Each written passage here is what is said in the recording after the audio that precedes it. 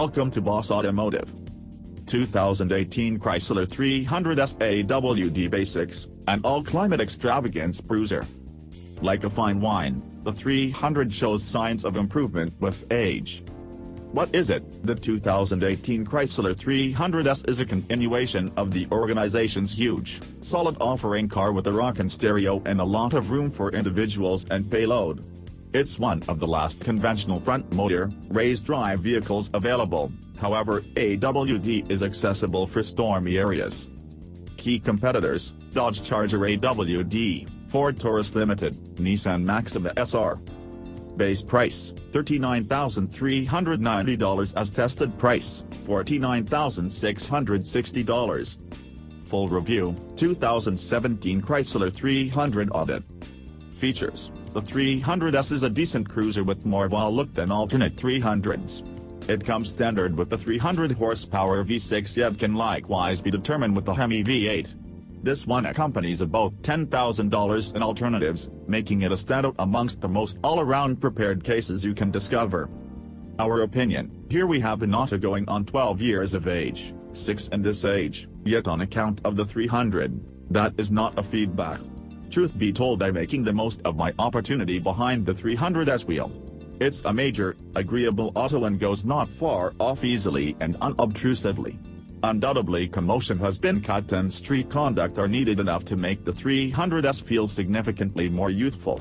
Furthermore, all the cutting-edge, extravagant stuff is here, in any event in the S demonstrate time driving, warmed and cooled seats, warmed directing wheel, remote begin, versatile big on HID headlamps, front, raise stop help, blind side and crossway recognition, you get my float.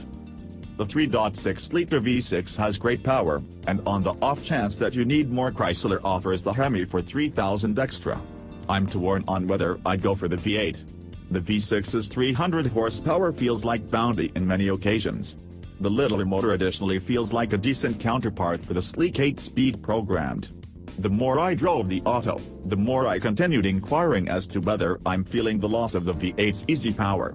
Driving them both consecutive would most likely take care of business one way or the other.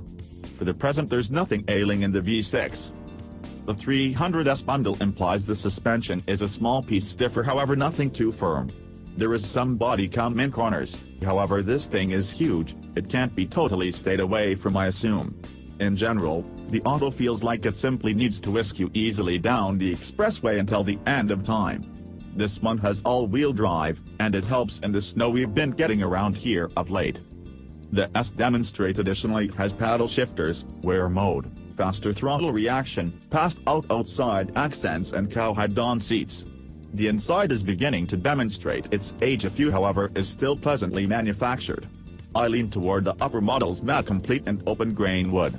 The S houses the discretionary Beats stereo, however, and it's only an executioner. I profoundly suggest spending the $995 for it.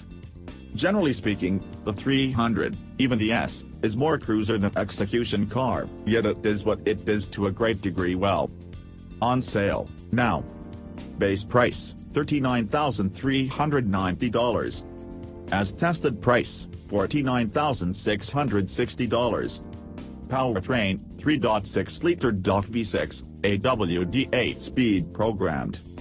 Yield, 300 horsepower at 6,350 revolutions per minute, 264 pounds to foot at 4,800 revolutions per minute. Check weight, 4,267 pounds.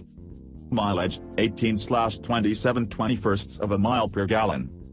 EPA city slash highway slash combined. ACES, quiet and agreeable at a large portion of the cost of S-Class. Cons, not exactly an execution vehicle with the V6.